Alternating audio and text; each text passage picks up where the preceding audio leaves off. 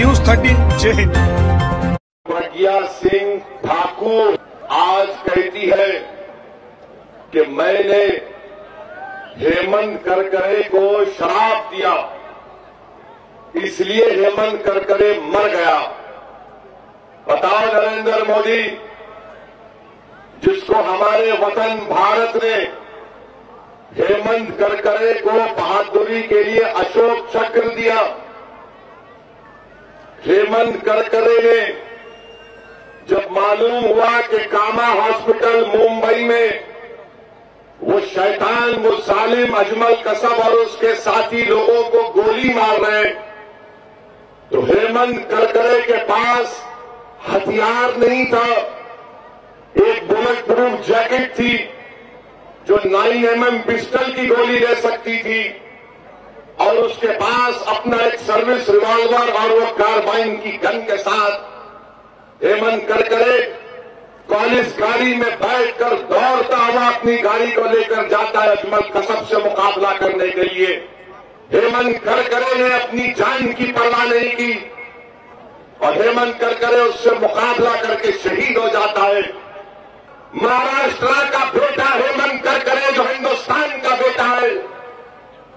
जिसने अपनी जान पाकिस्तान के टेररिस्ट के खिलाफ देकर अपनी जान को खो दिया। बताओ नरेंद्र मोदी, तुम्हारी कैंडिडेट इस तरह की गंदी वाहियात किस्म की जबान इस्तेमाल करती है, क्या हेमंत करकरे को पाकिस्तान के टेररिस्ट मारो?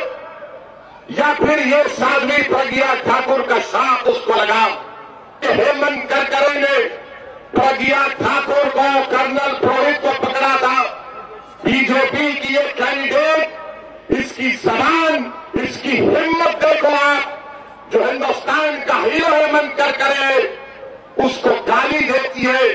अरे कहे प्रज्ञा ठाकुर, हेमंत करकरे जब अजमल खसब से मुकाबला कर रहा था, और जब तुझको पकड़ा तो तू भी टेररिस्ट के क्राइम में पकड़ी गई थी।